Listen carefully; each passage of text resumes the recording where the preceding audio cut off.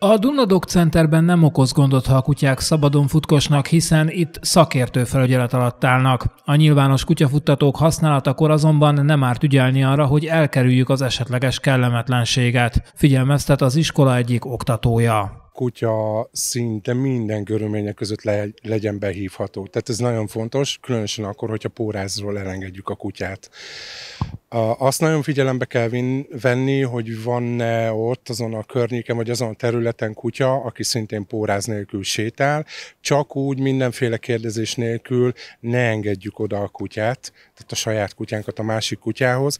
A szakértő hozzátette, számos mód áll rendelkezésre ahhoz, hogy a kutyát hozzászoktassuk más négylábúak társaságához. Én azt szoktam még javasolni, hogy minél gyakrabban, illetve nem, nem is feltétlenül minél gyakrabban, de hogy sűrűn érdemes ilyenkor visszahívni a kutyát.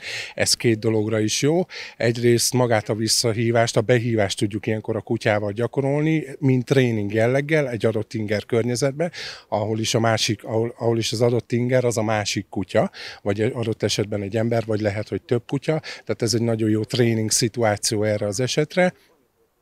A másik pedig az, hogy mindig figyeljünk arra, hogy a két kutya hogyan kommunikál egymással. Kiemelte, kutyaiskola vagy egyéni tréning javasolt a kutyák számára ahhoz, hogy fejlesszük őket, ezáltal pedig egyebek mellett a behívás, visszahívás is rutinná, gyakorlattá válik.